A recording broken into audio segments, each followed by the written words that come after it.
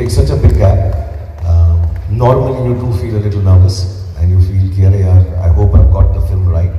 Uh, उससे पहले कुछ मेरी फ़िल्में थी जो इतनी अच्छी नहीं गई तो मुझे ये भी लगने लगा था कि मैं अच्छी फ़िल्में बना नहीं रहा हूँ।